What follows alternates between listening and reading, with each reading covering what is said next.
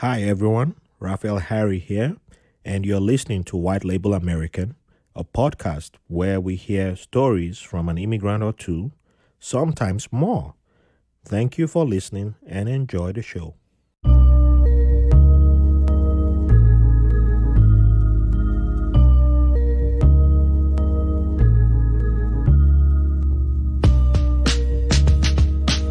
Welcome to another episode of White Label American. Thank you all for joining us today. And before we begin, I'd like to give a shout out to my patrons. Thank you for your support. Can't do this without you guys. And you know, you for everyone listening who's not yet on my Patreon, please you can join us. You know, we always need more support. We're trying to go as far as possible. And if you can't right now, we understand. You can support in so many ways. You can support by liking, sharing, subscribing, giving five stars and a positive review on iTunes, at- most especially, and push us up the algorithm. You can also get t-shirts at vetclothing.com, vetclothing.com, and um, yeah, just put it on your social media, share with your friends, get everybody involved. All right. So today we have a very, very special episode. We're doing something a little bit more different than what we usually do. Um, in honor of Father's Day, I have three dads join me. I'm also a dad, and we're just gonna go through our journeys. You know, we um, we all at different levels of um, fatherhood, and they will tell you who they are. One of them has been on the podcast a few times, so he he has the record of being on the podcast uh, the most. So you just overtook the person who's been on. Well, you were tied with somebody, so now you're officially in the lead. So, without much being said, let's meet our guests today. So, we'll start with you. Hi. Hello. Would you like me to say my name? Oh, please, please. Uh, my name is Cesar Benoît, um, father of a seven-year-old, almost eight-year-old girl. Nice. Mine is almost three, but she, I think she acts like she's 13. Right? Yeah, mine too. I think she's an 18-year-old. So, um, you live in. I live in Prospect Heights. Um been in Brooklyn for about eight years, from upstate New York. Uh, Spanish Brazilian background. We tolerate upstate today. What's uh, what's that? We'll tolerate upstate. Okay, today. perfect. Um, and uh, my favorite soccer team is one of Rafa's rival clubs, I don't think but not Barcelona. Con- we, don't consider you guys rivals. That's okay. we, we, we'll do that for today. It's all right. well, Cesar is my good friend. We've known each other for how long now? I, I can't even tell. For a very long time. man. Very long time. Too long. Too No. long. Way too long. Way too long. Fight. We do everything. Drink beer at the same time. So yeah, good. good. He's good people. And Mr. Rodney. Hi, yes, my name is Rodney Jehu-Appiah, um, father of a, a one year old girl. Um, I've been in New York for about eight years, Park Slope about five years now. Nice. Welcome on the podcast. Thank you. And uh, what's what's your background? Uh, in, t- uh, in terms of where I come from, Um, immigrant. oh, yeah, I'm, a, I'm an immigrant, um, not yet a U.S. citizen. Okay. Uh, I'm a legal alien, but originally from Ghana. Um, but family, you know, came from the Soviet Union. I, actu- I was actually born in Russia, All right. which gives me a lot of trouble in airports. Oh, But, uh, fascinating. happily living here now. Welcome to the show. So we'll, have we'll, later on. We'll do a separate one-on-one episode with Rodney, and this is just his, um, let's say, sticking his feet into the water, like getting you know getting wet. So the three-timer on the podcast. three lowest rated episodes, is it? it's uh, yeah. So my name is Mark Butler. I'm uh, originally from Dublin, Ireland, and uh, I'm father to a three-year-old. Uh, Imogen is her name. Right. So yeah, I'm happy to be back here um, to help contribute, and uh, let's have a good chat about being a dad. Alrighty. So welcome everybody. And I'm also a dad. You know, my daughter will turn three in August, and you guys have heard her once or twice when she's in the studio, but that was a few months ago. And yeah, she she talks like talks a lot now. So I'm like, yeah, you can't be in the studio now. It's gonna be.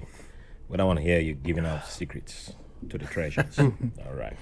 So let's begin. Um, with let me see i you know i got some brand new last minute questions that just popped in so but they're fun questions. Don't worry. It's nothing like give me this, you know, sign away the soul of your, your your child to me or something like that. I, one child is enough for me. It's too much work, you know. So, um, what is uh? Oh, I, I'm sorry, I read the question wrong. So, what is something that you wish that um, you had been told before becoming a father? Like, wait, let me rephrase it. What's the biggest surprise that you've had since you've uh, became a, dad? You know, something you didn't expect at all. Um, for me, it's it's I I've been enjoying it way more than I than I thought I would. You know, like I think it's a certain you don't have an idea what it's going to be like until you, it starts. You know, and uh, every day my daughter's getting smarter, she's getting funnier. She's uh, you know coming out with hilarious stuff every single day, and it's it's just you know she she's she's almost, almost like my little friend. You know, and it's it's great. And that's something that I, I you know you read books, you see movies and stuff, and you have a certain comprehension of it. But once I think you start uh, living in it, it's very different. So yeah, I think that that would be for me. Um, I guess I would say I was surprised at how much easier it is than I thought it would be. A lot of it is instinct. So I started reading all these books and watching all these documentaries, talking to people. And I remember one time I was at my uh, local soccer bar reading one of these books, like, you know, what to expect when you're expecting and all these kind of things. And, you know, sweating and being very anxious about it. And he said, you know, don't read that rubbish. Just honestly make sure that she's alive at the end of the day and then do it again the next day and again and again and again. So for me, I think uh, what I found is that it's a lot easier than I thought it would be. I thought it would be crying babies all the time and Yeah. You know changing diapers and all this, and it is that, but it's a lot easier. It's a lot more instinctual than I thought it would be. Yeah. Yeah, I would echo your thoughts exactly, guys. Um, I feel like expecting parents are always told scary stories about, you know, sleepless nights and babies crying and how bad it is to change diapers. You know, on that note, that's one thing that surprised me. I didn't think that I would be able to change diapers. I, for me, that was a very scary thought. The Yeah. fact that I'd have to do that multiple times a day. I think I've changed well, way less than you guys at this point since I only have a one year old. But um, you know, it's it's it's more fun than you expect, and you know, it seems to me so far at least over the past year that you you know, as a parent, you know, it's it's crazy to see how much like us our daughter is. It's it's it's fun seeing behaviors that we sort of can see in each other in our in our daughter. You know, I think I think it's almost like you get the child you deserve almost. You know, for That- good, for good and way- bad. That's that's a good way of. I like that line. Yeah, you get the child you deserve. Yeah, you know, um, it's not like because like when uh, before before Clara was born, you know, we didn't know what we're having. If it was boy or girl, you know, we just said, you know, we're gonna love the baby no matter what, you know, came out, and um, it, it just seemed like everybody was the, uh, the majority of the stories or, or the the lines we kept hearing were. uh, your life won't be the same. It's it's over. Like you know, fun is over, and like I'm like, yeah, I, don't- I don't know, man. So why why why why do you have another child? Then? like that's like something I want to ask some people. Like you know, there's people who have like three, four kids, but they just always, oh man, you now you oh welcome to the club. It's not you. I'm like, uh, okay, but you know, if you keep if you talk like this to every other person who doesn't have kids, I don't think they want to have kids because it's like you. But yeah, it, it was the same for me. Um, I didn't read books. I thought about doing that at first, but there was an experience that um that I, Ver- Verena had an encounter that um I don't know who gave her the book, and that book just seemed to be worsening her anxiety because she had high blood pressure during pregnancy, and it got to a stage. It was like that book just seemed to have the worst case scenarios for everything, and I was like, what, "What's going on?" You know, I I, don't get it. I, I thought it was when you go search on Google that you're supposed to be seeing all this stuff, not in a book that's supposed to be preparing you for uh, parenthood. And I asked uh, Namik, uh, knows Namik's, uh, who's our good friend, trouble knucklehead too, but um, I asked his wife, and she said, well, why, why are you torturing yourselves? Like, don't. Just take that book and throw it away. Throw it away. You you guys will be fine. You guys will be fine. Don't even don't don't don't stress yourself. Don't you you're already stressed off as it is. So why are you adding more stress? So I took the book and I told Verena like we don't we don't need this. I'm not even gonna read it. And after that, I just made sure that the communication was with people that I felt comfortable with and people that I respected and people who if even if they were giving me like something that was becoming too negative, I just like, um, okay, thank you, and I just float away. But I just, you know, I, I, I kind of started shielding out myself from the negative connotations, like this is going to be the end of the world, it's the apocalypse kind of thing. As soon as you have a kid, and then as soon as Clara was born, it just seemed like a natural. Like Exactly. I knew what to do. It's just like it kicked in. And I think it's part of our evolution as human beings. We always had it in us. But does it mean you won't get overwhelmed? Of course, there were days that I felt overwhelmed, but that's where having a team also helps. But uh, but it was the fact that it felt a lot easier than I expected, you know, and that and that will help me when the tough times will come. And I was like, oh, okay, yeah. So I was able to get through the the, the good days. So like, yeah, when when the tougher times came, it was easier to adjust to those days. But yeah, so I I, I had um, I think that was a surprise for me too that I was able to take to it, and the people were like, oh man, you, you don't have you, like you are you yeah are you able to sleep? I'm like I'm not sleeping like I used to, but I adjusted in the beginning, and then with time, you know, the sleep came. But you know, you adjust. Of course. You adjust for the good of your child. So I think And also on that, you made a point about your life is over and all that. You can incorporate your child into the fun that you have as well. Oh, yeah. For example, I like watching soccer games. Well, mm-hmm. I can incorporate her into watching that with me. We can take we can go to a, a baseball game or a soccer game. You know, you, you can still enjoy your life and do things that you like. You just incorporate a little person into what you That- do. that- That's all. Yeah, that that's the that thing. It, it just seemed like all the stories seem to leave that part out. Right. You know. And also going to the playground and having kid activities, they can be a lot of fun. You can make them fun. You can hang out with the other parents and you can just watching the her happiness makes you happy, you know? Yeah. So you know, Like to me, every every Sunday we do. Uh, I go get bagels and then we sit down and watch soccer. Every Sunday. right. And then she actually comes and asks me, "Are we going to watch football today?" That's so like great. that's wow. that's just you know, not Yeah. conditioning her, brainwashing her, but just she wants she enjoys it. You know, She enjoys And it. And there was one day where where we were we were always watching Premier League or watching you know Serie A, and then uh, she asked me one day, "Oh, do do girls play soccer?" And I was like, "Yeah." So like we looked up ESPN Plus, we found college soccer, and we were watching college soccer. That's so great. this is you know it's it's just she can do anything she wants to do. You know, Right. but like you said, using your own experiences and using your own l- likes. I bought a, uh, you know, the Super Nintendo little SNES. They had like classic ones that came out maybe five or six years ago. Like, and I have Super Mario and it's got Metroid and Mario Kart and stuff on it. So I haven't even opened it yet. I, I bought it purposely for her, so her and I can play, you know, Okay. the games that I used to play when I was small. So, yeah, just to share our interests, you know. Yeah. Yeah. I mean, All right. So now that that brings something. Um, I think this will be the next question. I, I'll go with. So now that you're a father, what is something that you wish your dad had done differently that you are now doing on your own with your kid? It's a little bit on the serious side, I guess. It's hard to answer this question without seeming like uh, being critical. I am Um, critical on my side because I, I I grew up without a dad. Yeah, and, and, and, and likewise.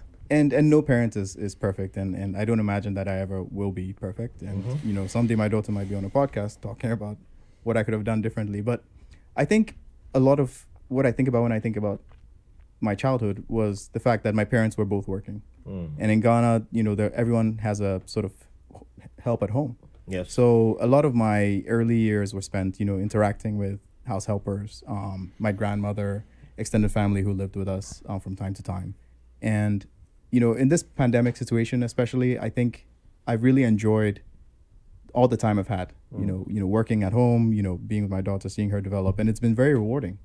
Um, and so I don't know that I, you know, I would not have remembered this stage when I was her age, but I, I think, I think uh, it would be a loss that my dad perhaps uh, would not be aware of, um, not having had spent as much time in the early age.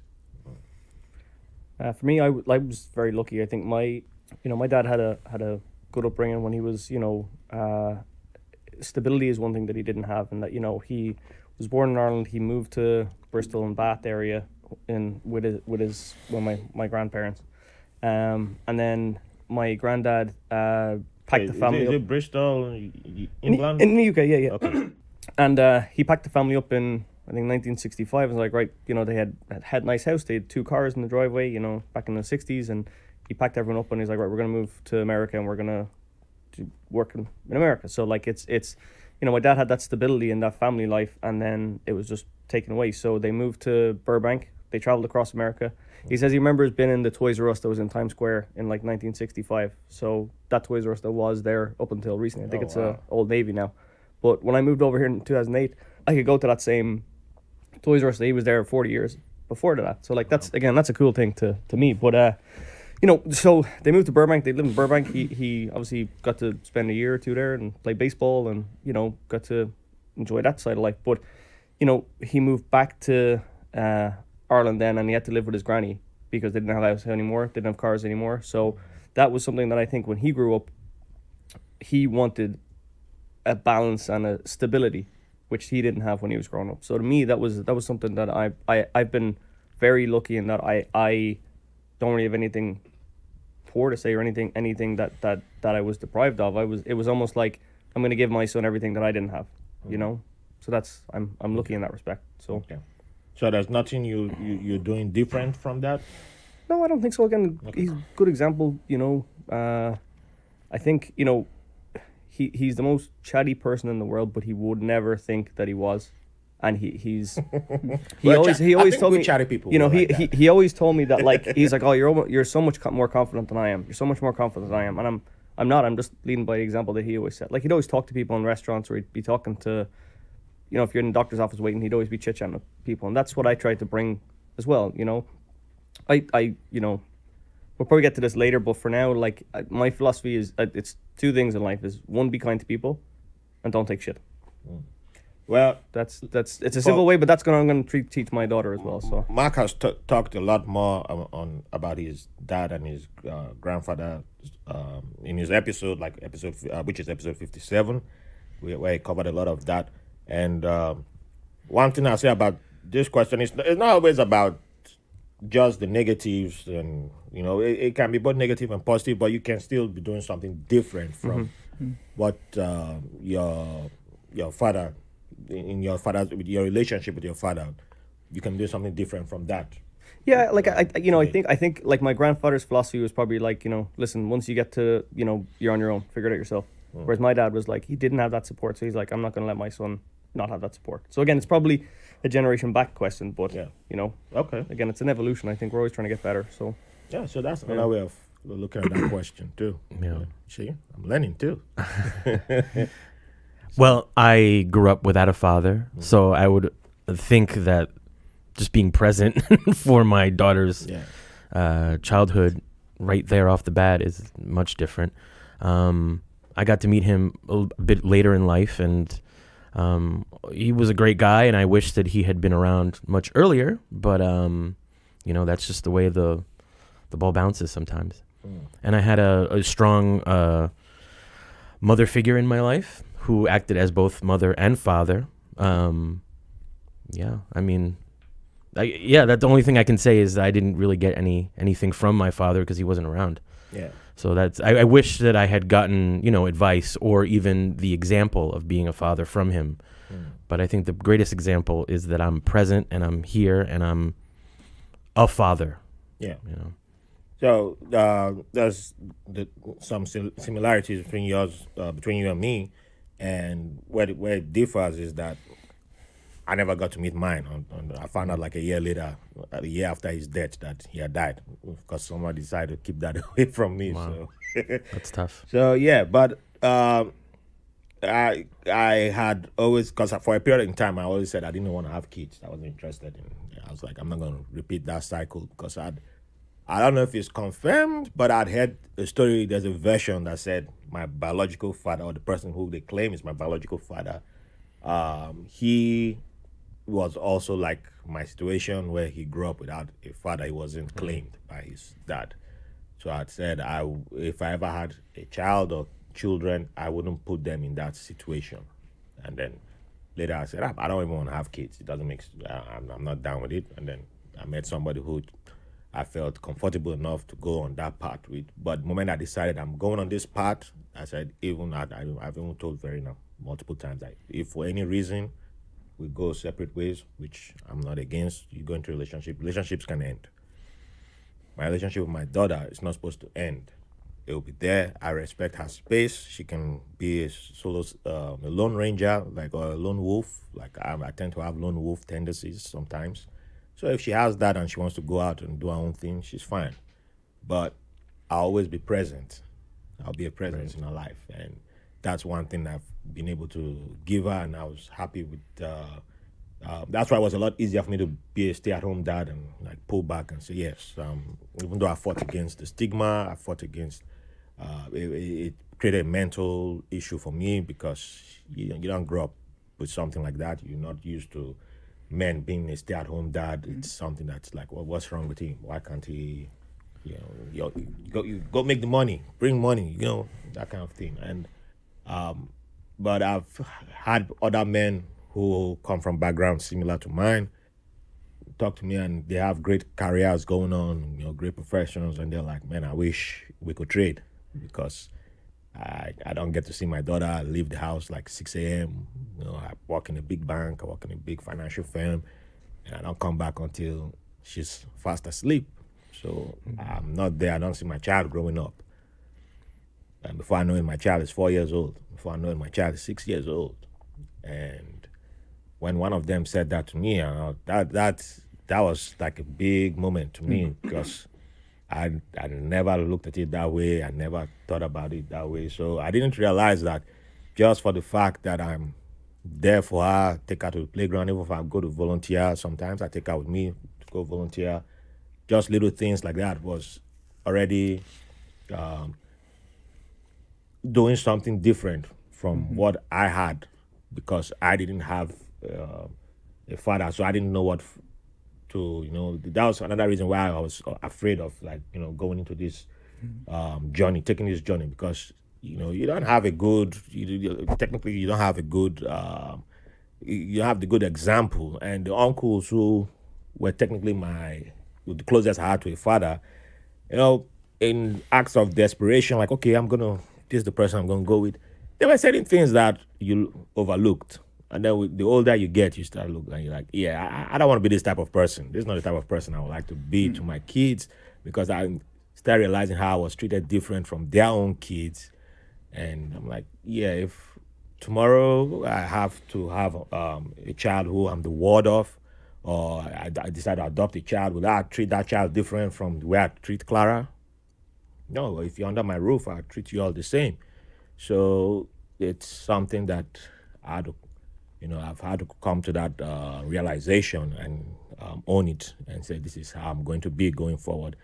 And for anyone listening who has um, had an unfortunate um, past where you didn't have a father and you know maybe you, you're feeling like oh man I don't think I can do this I'm like that shouldn't define you that shouldn't make it feel like uh, you can't take this step forward some of us are lucky to have experienced uh, our dads uh, early in life. Some of us um, are lucky to have met them later on and had a good reunion.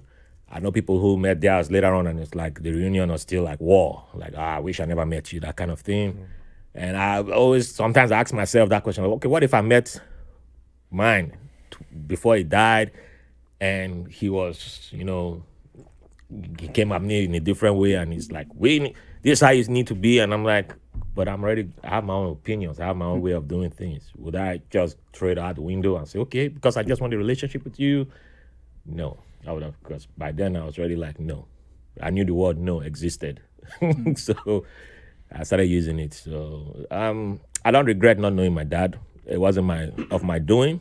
I didn't have anything to do with that. So but I'm glad that I'm able to give my daughter as much time as possible. And um, although sometimes it hurts when she says, I don't want to watch football. Get, put put a, put put cartoon, put some uh, put Miles Morales. I was like, God, please. I was trying to watch this game, you know. But uh, if that's what she wants, that's what she gets. It's so hard to watch. Just a full 90 minute game now. It's, it's boring to them. Like, what is this?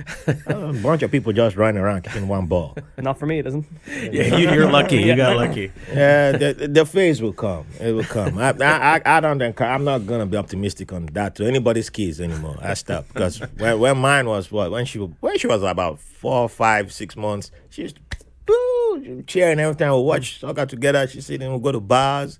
Yeah. She was, and then yeah, all of a sudden. mm, Then TikTok becomes the thing, and then YouTube, she, and then she's like, mm, Baby Shark. I'm like, how you even know Baby Shark? Mm. no, no, no, no. Uh, uh. She's like, uh, I don't want to watch. I don't want to watch soccer today. I'm like, I never use the word soccer around you. You find it out. I don't want to watch soccer today. I want to watch something else. I'm like, ah, man, this is boring.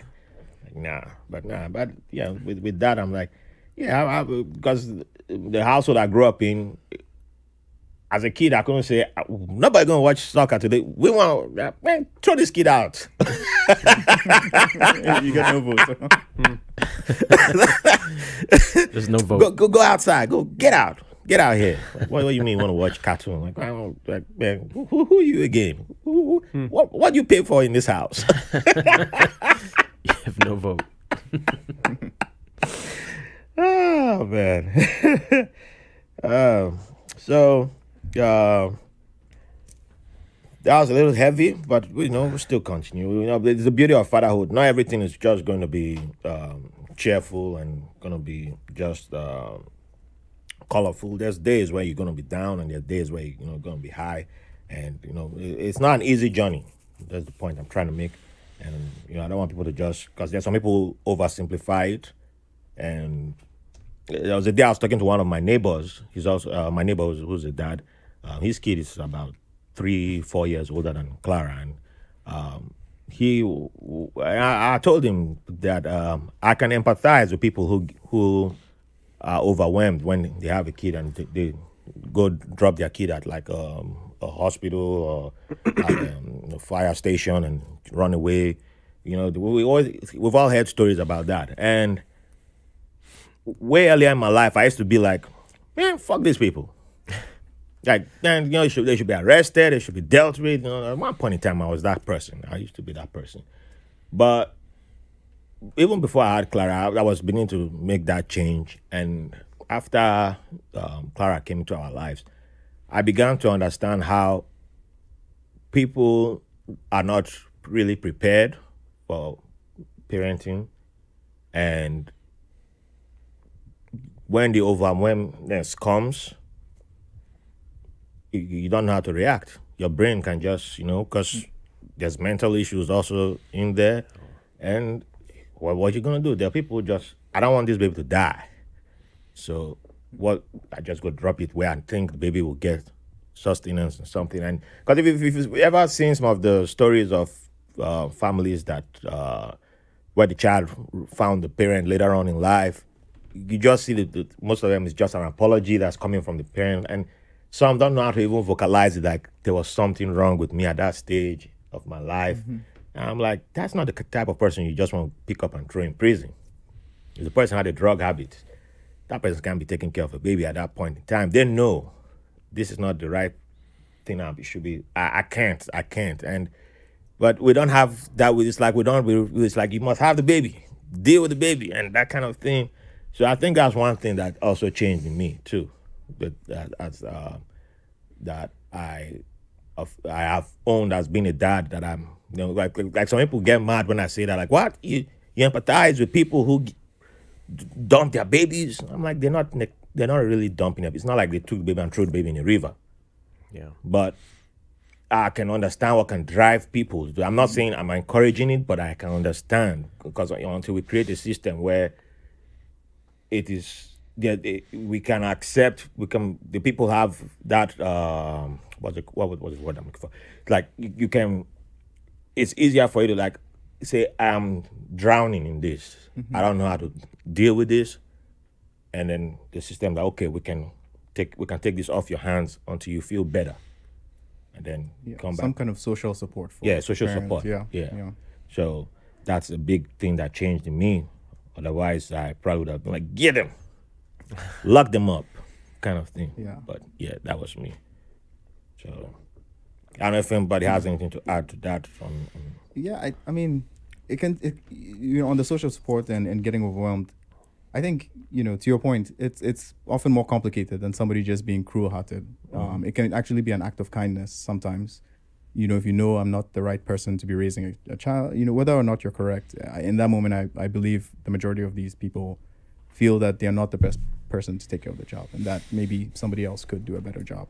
Um, yeah and I, I you know on the social support you know over the last year i've just realized how isolating it can be sometimes to be a parent Yeah. um you know a lot of the struggle is private it's internal within the family you know the lack of sleep the the need for for external help how expensive that can be sometimes Oh, yeah. um, balancing that with your you know you know just maintaining your your obligations to other people in your life your friends you know to yourself to your partner in terms of intimacy um it's, it's just a, it's a tough time it's a tough time Mhm.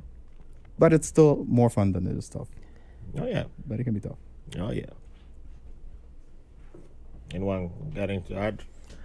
I, I think I, I think when you like you say you become a father your opinions on certain things change from what they were before you had a child you know so like you said empathy you know understanding um trying to to offer support to people like you know and, and, and i think like this like been having conversations and and difficult conversations or or conversations make people think Mm. you know like you said some things aren't as as simple as black and white you Yeah. know? so yeah So, as part of the conversations, have you ever had a moment where you felt you weren't good enough as a dad? You know, you you you you you, you start judging yourself in a in, in a negative light, and how do you come out of that moment? I mean, I can answer this easily because it's almost every day. every day that I'm a father, I question whether I'm making the right decisions for for my daughter. And I know, like we've talked before, I don't think uh, I'm perfect as a father. I don't think there's such a thing. But um, yeah, often, often I'm questioning whether or not I'm making the right decisions. Am I doing the right thing for her? How do you get out of that? A, a deep breath, seeing your your daughter, seeing your child, and how happy they are, or how gleeful they are, the progress they've made. I think my daughter is older than your guys, so I've done it a bit longer, but um, she's rounding out into this really wonderful little person. Um, who's empathetic and, and kind to people and sweet and happy. That's what pulls you out of uh, a dark place sometimes. Because, like I said, it can be really, really difficult at times to just to balance out whether or not you're doing the right thing. Yeah, it's it's not easy sometimes. yeah for me uh it's it's been a it's been interesting to think of, of the last year um at this and and i'm i don't feel confident yet um entirely as a father i think i go between two extremes of on the one hand when my daughter was just born my mind could only go towards the the worst case scenarios you know Yeah. oh daughter is going out for a walk what about cars on the street what about you know this or that or a wild dog or something you know thinking of you know being hyper care you know uh, protective Yes, which I think maybe is hormonal, maybe it's instinctual, maybe it's necessary. it's Um, all of it. Yeah. But on the other hand, sometimes I, f- I, I reflect on, on a day I've had or, you know, with my daughter and thinking to myself, am I putting too much pressure on this on this child? You know, I think if there's one thing I need to correct for as she grows up is to encourage her to be the best expression of who she is, but then to not hold a very uh, a very high standard to her. You know, and I think that part of my upbringing was was one was one that was very strict. Academ- academia was you know. Yeah. I often felt like I, if I did well in school, then I'd have the approval of my parents. Um, you know, it was drilled into my head that that was the most important thing in life. My duty was to get good grades in school. It's and I, I can see the benefits in my life and I can see the downsides from an emotional standpoint. And I think uh, I, I see those tendencies in myself. You know, already thinking my thought, thinking you know, on our way here, I asked Mark if his if when his daughter started walking, and I reflected on a few seconds later, think to myself like, why am I already having this expectation of when my daughter should start walking? You know, I should relax a bit about these things and, and realize that you know they're they're you know just you know tend to the garden, let let let her grow rather than uh, you know try to force some outcomes that I think are good.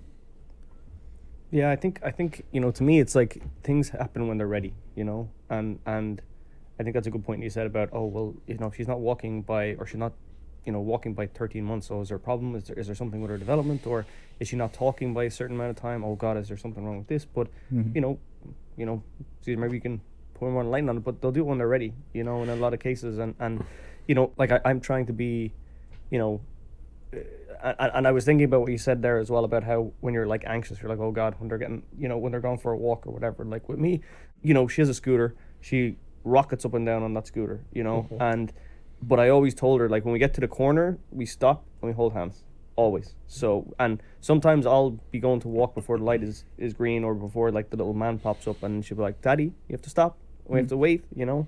So you know, and then when she's riding her scooter, she knows to stop well before the corner, and she stops well before the corner. So I think it's just, you know, you tell them what your expectation is, and then you make sure that they they hold to that, you know. And and again, eh, like you say, it's sometimes it's not easy. I don't negotiating with a three year old, like if you can negotiate with a three year old, you can negotiate because they, they don't know, they don't understand no, or they don't understand like it's it's. I spoke to one of the guys in work, and he's like, you know.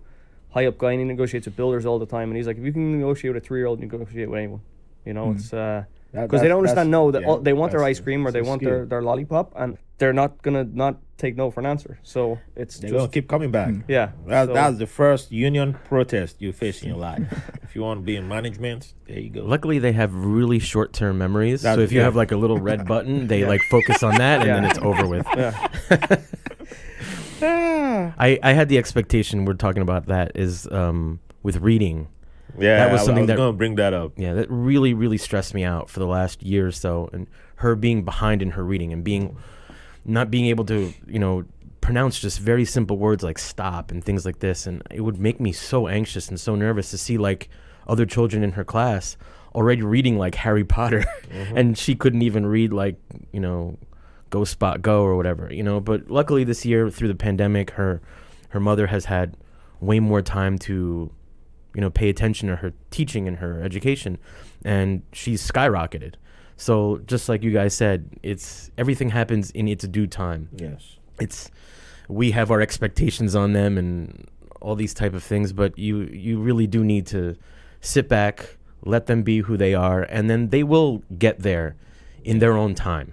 It mm-hmm. doesn't matter if it's at six years old that they're reading harry potter or at eight when they're reading william shakespeare they will get there yeah you know? Uh, funny thing, I was uh, what twelve when I read my first Shakespeare. No, uh, first um, Sherlock Holmes, and that's what got me into reading novels. I never, I never cared about reading those, and then I was like, this book doesn't have pictures in it. You know, I was told, go read it. Make sure you, you read everything. Then we're gonna ask you questions. After that, and I was like, oh, I read, I read it twice. Was like, oh, this, is- this is so interesting. Oh, I, thought, I I won't be able to read a book without pictures. you know, I had fun, but. Um, that that wasn't an example of reading at your own pace or at your own time. That's just a fun memory that came up. But um, f- for me, I, I think that's one thing that I kind of grasped early the learning uh, process. Like um, the, my daughter will figure things out on her own or at her own pace um, because I'd been around people who it seemed like a competition. And like oh my kid is almost two years old. And some were not saying it for the, to brag per se but you start getting that vibe in the room like this person says oh my kid is doing this already at two this one my kid is doing this at three. And it felt like and all eyes turned to me and i'm like oh um, no okay so yeah, I, I gotta find something to say too right? And they're like oh, well my kid knows um, She can walk. into the spider verse right yeah exactly yeah, does your kid know that? No, she knows she can't follow the Spider Man, so something like that. But you know, but it, it, there were times where I, I find myself like pushing her, and I ask myself, who am I doing it for?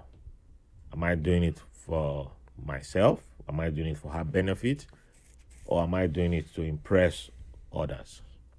And every time I ask that, it's kind of it's kind of one of the ways I deal with when that negative feeling comes up that I'm not doing good enough as a dad. It feels like, oh, uh, you know, this other person who's a stay-at-home dad or stay-at-home mom, they've taught their kids like four languages or this and that. I'm like, fine, well, I don't know what their teaching process is, but I know that my daughter, before just around when she was two, she could sing um, Wizkid's Joro from beginning to the end. I'm there, I'm like, I don't even know that song, but she'll be mm-hmm. there singing Joro, Joro, dancing and singing, and then she'll sing Spice Girls if you want to be, and I'm like, okay.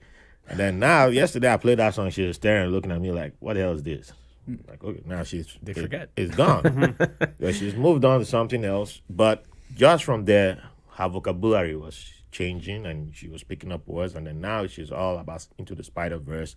She can quote almost all the lines, and she's just like, "Hi, I'm Peter Parker."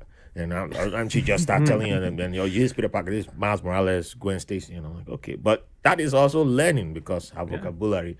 But if all the learning is limited to only just books, you must only read through books, you must learn through books. I'm like, yeah, but there's so many ways you can teach in Finland. Way before I even thought about becoming a parent, I posted this on my Facebook long time ago, and thanks to Facebook, Facebook memories, I real I realized that um, in Finland they don't even teach kids. Um, they don't test kids. I think they, they just let them play in their kindergarten, in their preschool. I think up till the age of five, six, seven, something like that. But it's like fun, fun, and within that, the only thing they introduce them to is music and different sounds, and then they see what instrument the kid's gonna pick up and just start having fun with. But it's not like you got to turn into a prodigy or something. But it's just like whatever you like, have fun with it, go with it, and it's part of a learning process which they've done experiments on. They've figured out um, that the it's also the brain is wired in a certain way. Like the kids who learn a certain music instrument, are they able to pick up languages and certain skill sets? And I'm like, that's also learning. Well, I posted that article long, long time ago. I'm like, damn, people were like, "Are you gonna have kids?" I'm like, for what? I've just posted. it. I found this interesting. I shared it, but you know, so when uh, my daughter was born, and you know, the, any any night where I woke up and I'm like, okay, let's let's leave the bedroom. I'll go to the living room and turn up music, and I'm like, okay, well, not like I put on like Afro beats. I can put up uh, not what you call Afro beats today. I'm talking of the class, the real Afro beat put on classic, whatever I felt like. I just put whatever. And with time, she started like, you know, sometimes she just, you see her head moving. And then the older she got, she was just, you know, and picking her own thing, but she's learning too. And now she has her own dance moves that she got going on, which is good because I don't want her dancing like me because they're going to be like, you're too old. You, know, you, you dance like an old man kind of thing. So, but yeah, all, all that helped to calm my nerves and you know calm me mentally. Um, every time I felt like I was that that failure, that thought of failure started creeping into me because it always it's always there. It's always there, like Cesar said. It's like a daily thing, and the I think all it needs is just for you to allow it last longer than a minute and then it starts to spread into oh but you didn't give her food at 12 no 12 o'clock exactly 12 o'clock. You waited till 12 10 that's a bad bad fatherhood. I mean you, maybe maybe you act like your dad. Maybe your dad did that and you're like wait but what? What? Then you stop then then you start letting your mind play with you. And then before you know it you're opening up different portals into who knows where and then but you don't need to go that far. You know what you're doing. There are gonna be days where you make one mistake. Like first time I took Clara out on my own, I misjudged the weather. I didn't put on enough coats, and I was when we are we were already on the train. We're going actually to Harlem, and I was like, man, this is yeah. I'm pretty sure everybody on this train is looking at me. This is a terrible father. He is terrible. Look at his child not properly wrapped. That's all. I'm like, who, who, who's, who, who, no, somebody gonna say that to me. I was just, oh man, this is bad. This is bad. But I thought I, let me take off my jacket and wrap her, and you know, and all that. Mm, She's she's gonna be three now. She made it. Just keep them alive every day Yeah, and do it it. again. you know so i was yeah so yeah, i think that negative thing is always there but you just have to remember that uh, it, it, it shouldn't own you it shouldn't determine who you are and what kind of dad you're going to be to your kid you know because you always get great memories and great experiences with your child and you know and they, they're little people they do their own thing. They're going yes, they have some of me in them, they have some of their mother in them, and they're still gonna have they have some of their grandparents and their others. But they are uh, my, daughter does her own thing, and you know, like yesterday she tickled me on my stomach, and that, that I'm, I'm not very ticklish there. Then today I tried to tickle her, but she said that's not nice. So yeah, well, I can't, can't, can't well, I have to come up with something now. All right, I respect you for that. All right, okay, we know the boundaries, and I, I let her set my boundaries too, so I respect that. I think it's. Oh, Yeah. sorry. Go ahead. Sorry, no, go go ahead. no, I was gonna say I think it's interesting the in this uh, I think for our the generation before us and maybe two generations before us, at least in America, the kind of um, ideal of a father was that they were kind of like blase, kind of not as hands on Mm-hmm. as maybe we're talking about being right now. But in this generation, we're more like involved. So we have the idea of like maybe we're not doing this right. Maybe I'm screwing her up. I think the generations before us, they were more like that's woman's work. Yeah. Let them do it. But here we are for for men talking about being very hands-on with our kids and I think that's a great evolution that's happened not only for men but also for fatherhood and for our children. Yeah. That I hope that they see that example and then keep it going moving forward, you know. Mm-hmm. I, I, I always use an example of right. Let's say you know you look at when if there's photographs when you were born, okay, and if your grandparents were, were there, you know, you, you look at our grandparents, um, and they seemed old. Like let's say they were in their sixties, and you know they looked like little old ladies, you know. Whereas, you know, I look at my mom, who's well, I'm not gonna say how old she is, but she's she, she but like Good- she she good move. She's she's had like you know she she she doesn't look like you know the, like if you compare the the two photographs of the different generations it there's like tw- it looks like there's 20 years in difference between the two of them you know so and i think that comes back to the world getting smaller with the internet and Yeah. being able to look up things and you know you think back at their generation where you know uh like in Ireland, for example, right? So, like if you're sick in Ireland and you just upset stomach or something, the old wives' tale was that okay, I'll put some Seven Up or some Sprite. I'll just leave it, wait till it goes flat, and then when it goes flat, then I'll give it to you, and that will make you feel better. You know, Oh, or okay. like these, Yeah, that- these like old wives' tales. bit- that That's like a little bit different you know. from the Seven Up tale. I know. But like these these things are passed down, and and versus now, like I'll just go on the computer and I'll see, oh, the best thing for upset stomach is is lemon juice, whatever. I don't know, but Right. but but it's it's everything's at our fingertips now, as opposed to before, where they're just trying to figure out. uh, You know, talk. You're talking to another parent you meet at playground. Hey, what do you do? Oh, I do this. Oh, okay. And then you try it, and then Yeah. that gets passed down generation. But like you said, like I remember having a joke with one of the guys I used to work with a couple of years ago, and his, you know, he had two girls, and he was just having a, a boy, and he had said that he, uh, when his son was born, he was gonna call him boy, and he was going to, and he was like, "Come in here, boy," and and he's gonna be a stern father, and oh, dad, I got second place, and, oh, second place. Oh, Why not first? yeah, You're the But first just- loser. yeah, yeah, Yeah. yeah. Oh God. But just like, but he was only he was only joking around. But like, you, you do think of that those stern, you know. I think of a story like you know when when you think of people that were in say the Korea War, for example, you know, and and these things that they live with, and they get home from work, and oh, dad, dad, do you want to play with me? And then the mother is always like, no, no, no, let him, just let him do is, you know, he got home from work, he's been working all day, rather than. Now I can't wait to see my daughter when I come home. She Right. runs up and gives me a big hug, and, and you know we go for a walk around the block or a scooter or go to a playground, and if it's only half an hour, forty minutes, it still makes that's I look forward to that every day. Yeah. Yeah. You know, so You know, I learned the hard way not to Google too much, though. I have to Yeah, say. I, I was Yeah. gonna bring that You up. um, my da- my daughter loves to like tap tap the the table. Well, that's a sign of autism. Mm-hmm. Like everything oh, on the internet is a sign of some mm-hmm. something. yeah. Oh, I have a know. cold. Oh, you're, you have cancer. Yeah, Oh, Like, yeah. yeah, yeah, yeah, I still do that. yeah. All right, I think it's a good point to take a quick break, and we shall return back shortly with more fun stuff about being a dad. Hi, everyone. Your host, Raphael Harry here.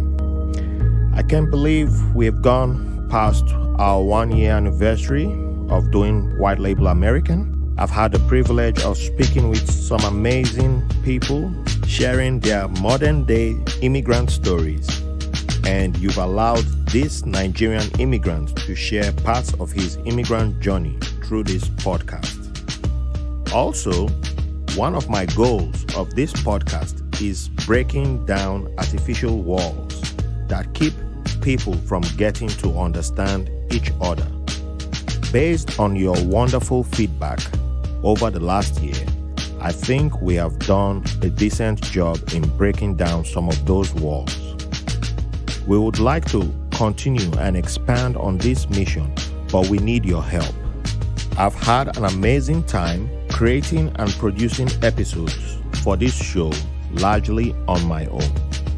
We have a lot of ideas for new and exciting content to expand upon the mission, but we need direct support from you, our listener, which is why we have created a White Label American Patreon page where you can make a one time donation or become a sustaining contributor where you can get access to exclusive content, help me interview upcoming guests by submitting questions, and even have the chance to sit down with me for a one on one conversation, either virtually or in studio.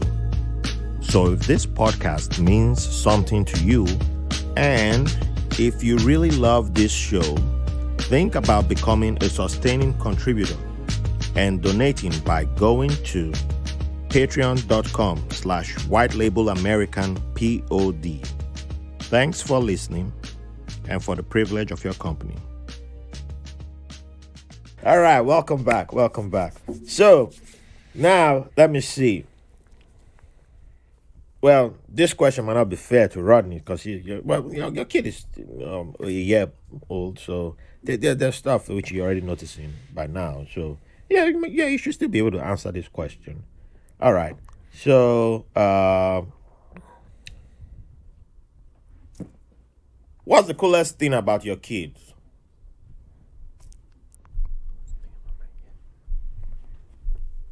I'll, I'll go first. Yeah. Um, I think her love of music seems clear already. Um, when she was just a few months old, that was the only thing that would get her to, you know, stop crying. Um, even now, she, she, you know, she rocks a little bit to all sorts of music. So, um, Is there a particular one that she reacts to? you know, anything with a good beat. Okay. Um, and I tell my wife, you know, in, in Ghana, if you don't know how to dance, everyone laughs at you. Every party requires you to dance. Um, so you know, that's that's one thing I can't wait. You know, when she's walking and you know moving around, it'll be fun to da- have dance parties. Um, but she seems to, to groove to music, which which I think is pretty cool. Yeah, yeah, that's one way I was. I know I used to have that. Uh, it's a joke, but um, he I should be like, uh, if I have a child and the child ain't down with music, I'm gonna be like DNA test. Uh, we're going to Maury. We're going to Maury. That's the only reason why I would go to Maury. Like, uh, I have a child. My child don't don't dance music. That why? Yeah, yes, that's why I'm here. Maury. We're going to Maury show. like that. That's my only reason for coming here. Don't, this child, it can't be my family. Everybody like music. That's funny. oh, uh, well, who want to go next? I mean, I, I my daughter has a great sense of humor. I think she's uh, jovial is a good way to put it. She's very happy. Uh, it can be a little problematic. She likes um, playing pranks on people and playing pranks on her father. Well, I, I Um, wonder where she got it from. Yeah. I wonder. I wonder too. Has anyone met Cesar? She's just really ha- she's happy. She's just happy. Uh, y- you know, she takes things in stride. What's a good way? I'm trying to find an example. You know, I'm a big professional wrestling fan. oh yeah. So I like we be, before the pandemic we used to go to all these local shows in like little gyms here in Brooklyn. And You gotta she- take me to one of those. yeah, I definitely have to. Once once everything starts again, um, she loves seeing all the colors and and the people doing all the flips and the and the and the women with their, you know, colorful costumes and I, it's. She's just a really happy kid who notices things and doesn't see the the bad side of things. Is it because she's seven? It's possible. Yeah. Is it because she's had a good upbringing? I hope so. um, and you know, that's that's the coolest thing about her. She's just really happy, jovial kid. Yeah, same with me. Like I think she's she's very friendly and she's very confident, and she she'll be in the playground and uh, she'll be run up to kids. Hi, what's your name? And and she'll want to talk to them, and then she'll make friends with them, and then she won't see them, and then six months later she'll be like, oh, there's Milo, and then she'll remember Milo and want to go and play with Milo, and that's, you know, I think, you know, she she's yeah just a friendly little kid, and, and like you said, she's happy and and you know, you kind of touched on something earlier that I want to talk about is that you know about um, teaching, like about tick tick your daughter tickling you, Mm-hmm. and about how you know you want to teach them that it's their own body and you know you don't have to give anyone a hug if you don't want to, or if granny's leaving. Oh, I'll give granny a kiss. Give granny a kiss. And no, I don't want to give granny a kiss. Like you don't teach that in them to to know that it's their own body and they don't have to do what other people want them to do. And especially the three of us have girls. You know, I want to teach her when she gets a bit Yeah, bigger. I have a girl too. Sorry, for excuse me, Rafa. Yeah. You're, you're sorry, host. Excuse me. Beg your pardon. you know, we're the talent here. Come on now.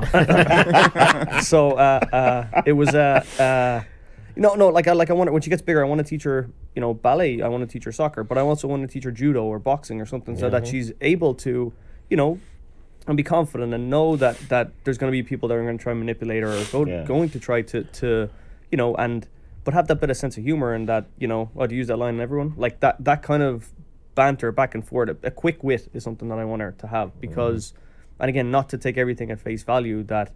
Something seems too good to be true. It normally is, and, and but again, it's your own I, body. I, and- I have a feeling that your daughter will be. I think she, she, she she's on her way there. you met her yesterday. You I met her yesterday. Yeah, Yeah, yeah. she, she was that Yeah. was one of the first things she asked me. What's your name? I was like, you we've met before. And you, I, I, I don't think the first time she met me, she asked me what's your, what's your name. Yeah. But yesterday she asked me what's your name. I was like, all right, yeah, we, we yeah, I see you more lively now. But she was always, she's always been lively. But the fun, fun thing is that when I met Cesar's daughter for the first time, I said Hala Madrid, and she responded Hala Madrid. I gave her a high Oh five. yeah, yeah, yeah, yeah. That kid. I almost disowned her. How dare she?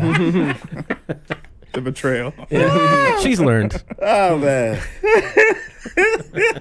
Has she chosen the team? uh, she, she got no choice. My team. She was but- forced. She was forced into Valencia. And it's funny because she, I went there in 2019 and I bought um, a jersey, you know, and things like this. And she's like, "How come you didn't buy me one?" And I'm like, "Cause you never watch with me. You're a la Madriding people." I, I could have got a Madrid jersey, but nah, nah. That, that's one thing I didn't um, try to force on Clara though. Like I'm like uh, we will mostly watch Bundesliga since Dortmund is the biggest team in our area, but uh, Munster has a team too. But I don't know Munster is. I have a Munster jersey though, which my in-laws got for me. I wouldn't have paid for it myself. but I like New Stars team for what they represent. You know, they're they're like one of the most active teams against racism in uh, the whole of Europe actually. So.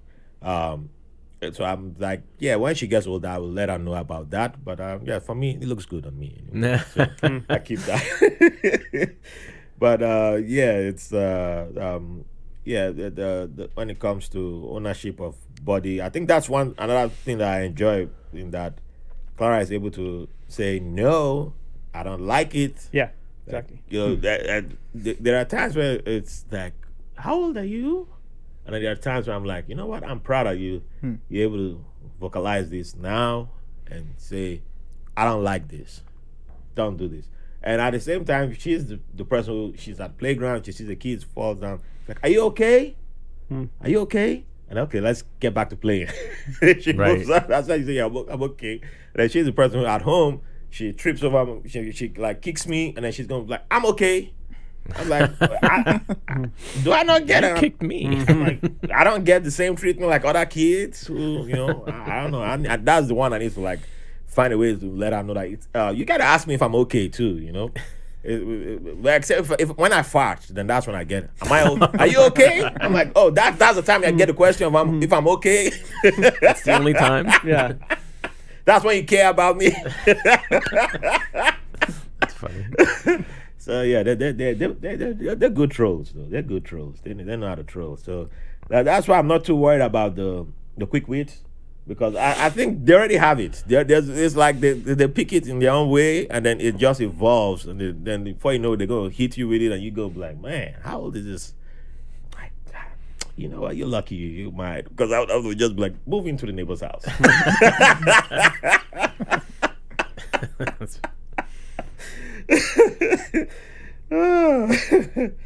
Yeah, but yeah, it's one of the most beautiful things about them. So, um,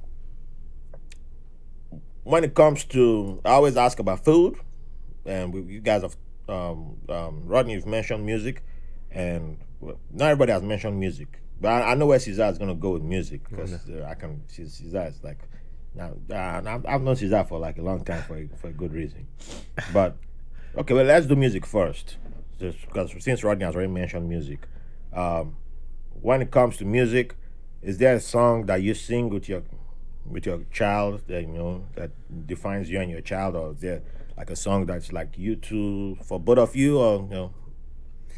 Um, there's a there's a good few songs that she always likes to listen to. Um, Yeah, but for the, the, when it comes to the two of you together, you have a song that, like, if she's singing and she's like, "Sing with me," what's that song that you can sing with her?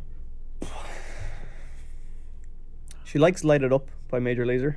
Oh man, that, So she- she- that's she- that's that's a yeah that's she, a she going big. yeah. going So big, uh, big that, that's you know we just we we, we just we, we sing "Light It Up" to each other. Oh, all righty. And then uh, we like do like a little dance party in the little living room. I'm trying to picture Mark dancing. I Yeah, know. it's not pretty. It's- Uh, but, but, but my wife will always uh, sw- "Sweet Child of Mine," and she always sing it to her before she goes to bed.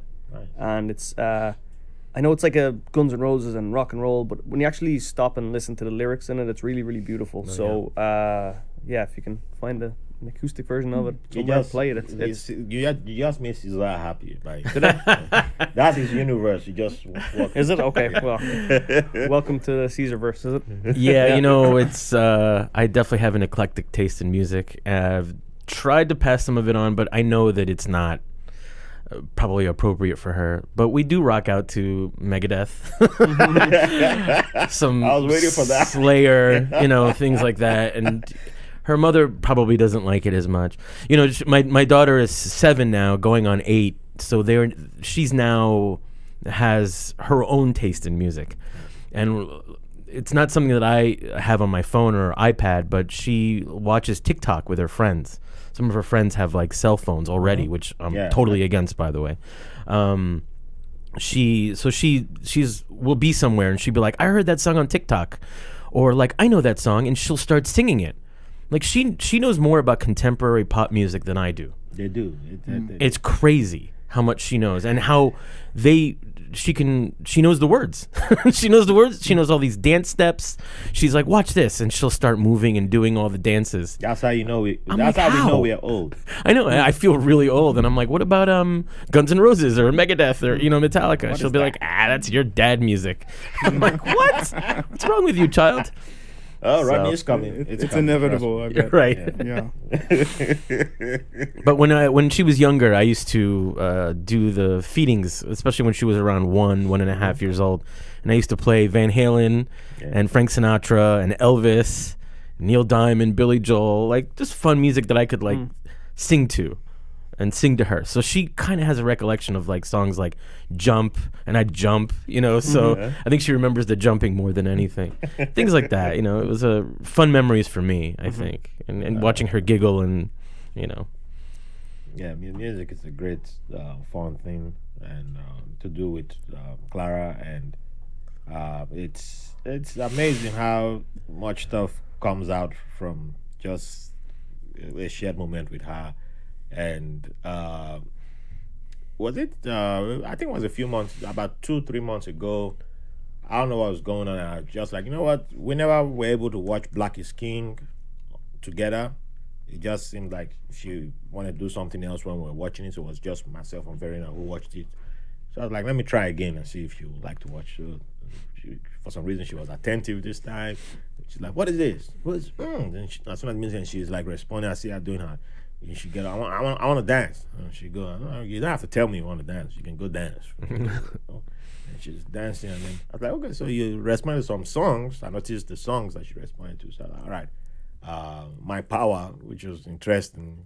Uh, that that was like the main song she responded to. So I played that song like maybe ten times that day, and she was like, "My Power." So that song, Ugh. she's doing her dance, and she she has this dance move she does, and it's like, and she has a very serious face when she's doing it. I'm like. I, I can't. I, I've never seen Beyonce dance like that, so I can't tell if it's. Are you? Is this your official entry into the BeyHive, or I can't tell? But uh, she just went. She, she, and she just be there. And Play the game. Oh, yes, ma'am. Play the game. Okay, boss. play the game. And then um, one night, uh, I don't even know why I didn't, because like um, before we go to before she goes to bed, I put on a movie. You know, do family time, watch one movie, and instead of a movie, I played Queen. I was like, oh, let, let me see, check you out and see how you react to Queen. So I played Queen, And she just jumped and started dancing.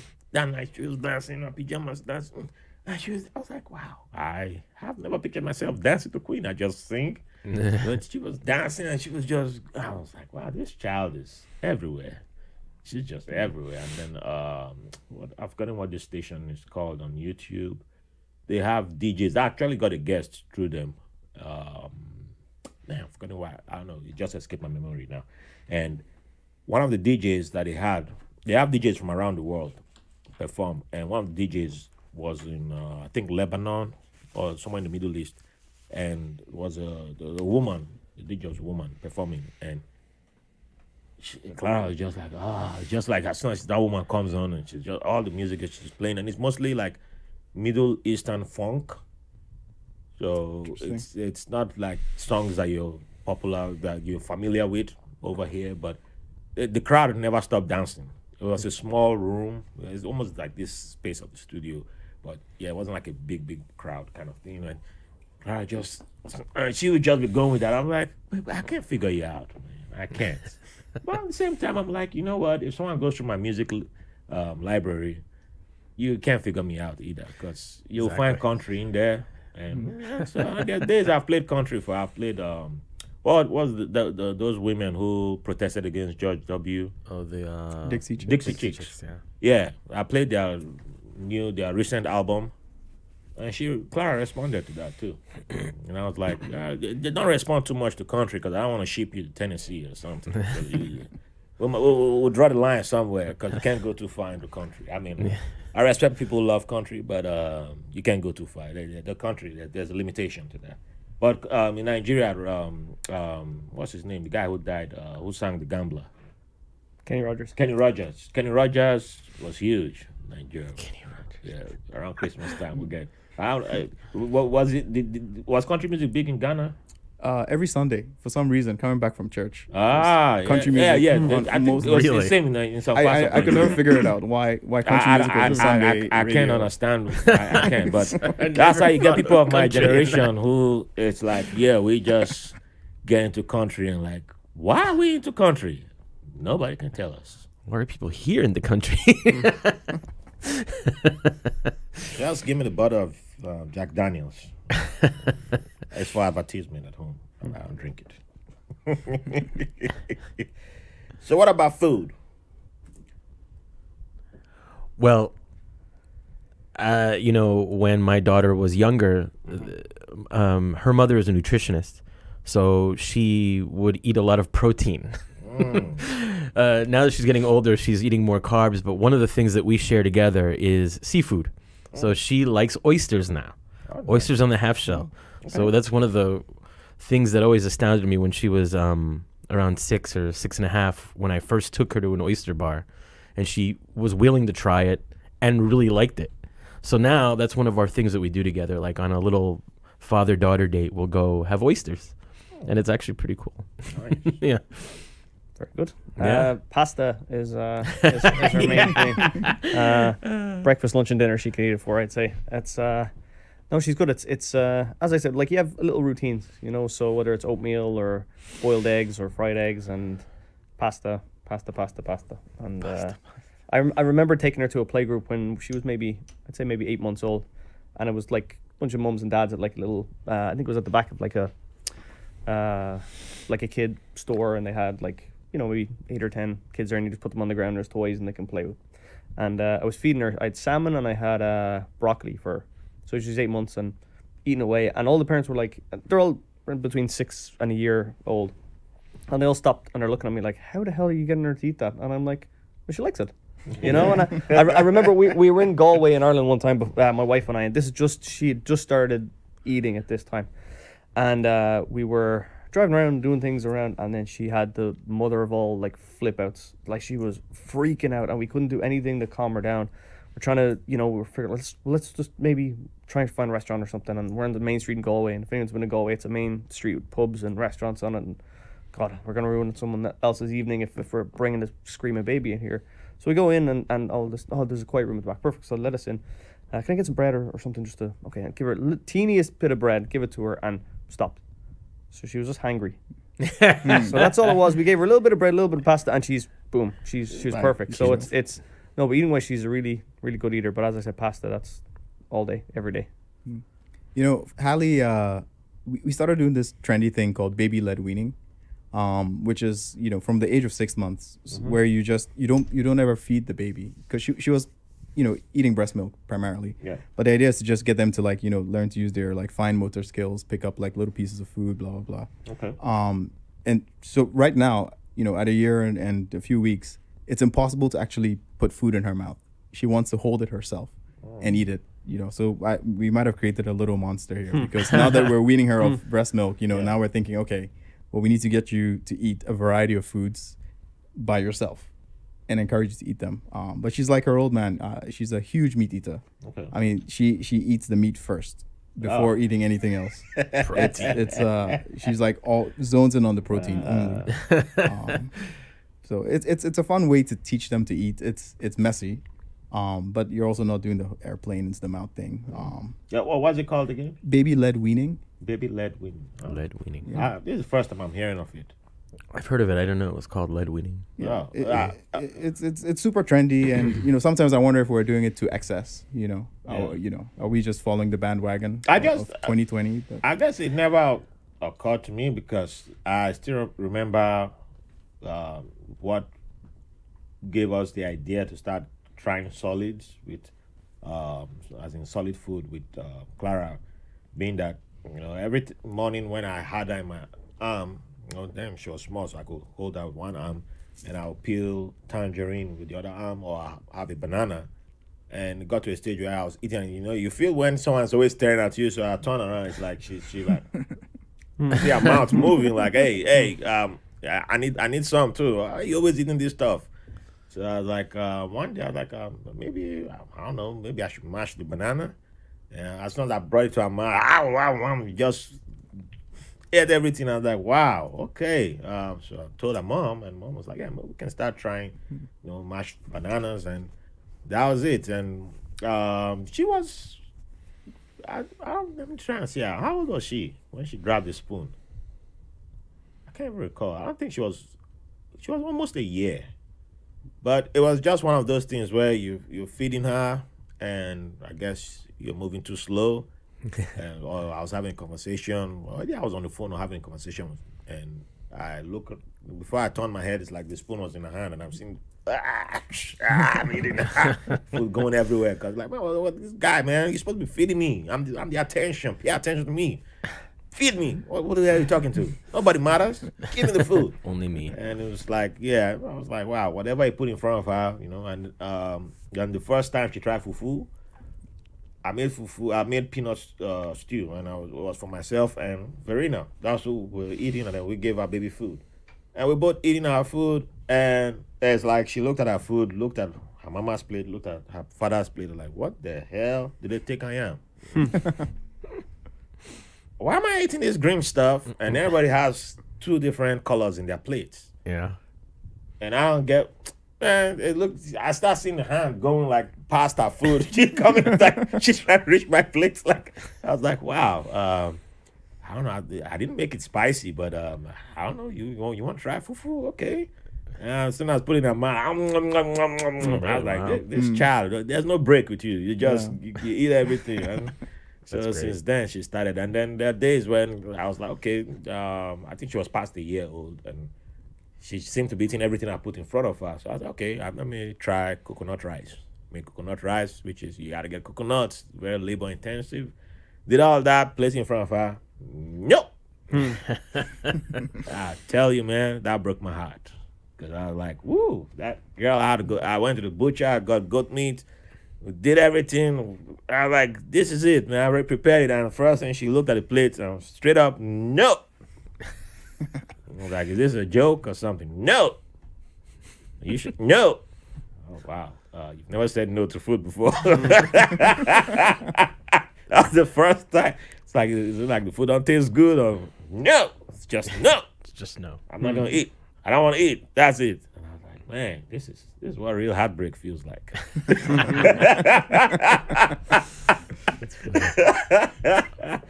Oh, and then uh, so now she's more. Uh, I think her favorite thing is also pasta. Yep, and uh, But there are days where you know I'll, I'll have um, fufu or I'll make some um, Nigerian stew or whatever, and or even if jollof rice, and she just gonna be like she won't eat it that night, but the, the next day. I want jollof. I want jollof. I want, and she just gonna be like holding. I want jollof, shaking you. I want jollof. Like, hey, baby. So, so somebody sees me like, you don't feed this child. You don't need to call child protective services or what? Don't embarrass me in public. like, okay, I, I get you jollof. I need jollof. I need jollof. like, you just thought about it, and you know, yeah. even even when I took her to go play soccer, you know, she um, been taking her for months now, and you know, cause she kicks the ball out all, all out in the house, and we're like, okay, maybe she might have fun with other kids. She's like, no, I don't want to play. We get to the park, it's like, I don't want to play. I'm not coming out. I'm just going to stay in my stroller. So she never played. Wow. Four weeks went by, and then the fourth week was like almost towards the end. She comes out like, okay, I kick the ball a little bit, and then she gets in front of the goal. I'm like, okay, take one last kick, score the mm. goal, and she's about to take the kick, and she's like, it's like something sparks in her brain, and she just turns around and starts running towards the stroller. So I'm like, hey, what? Hey, wait, wait, score the goal, wait. Mm. and I get to the stroller, she's like, salami. So, I said, what? I want salami. How? Who does? You about to score a goal and salami just popped in your head, and that was it. No more playing soccer anymore. It's like salami. That's what I was want. I didn't bring salami, but no, I just I want salami. Like we're in at Prospect Park. We're not in the house. you better go- Salami. you better go get some. Hmm. salami. I'm like, man, yeah, with food, yeah, it's yeah. It's, she's never done that with pasta. That's the funny thing, though. She's never been like, well, we're far away from home. I want pasta." No, she doesn't do that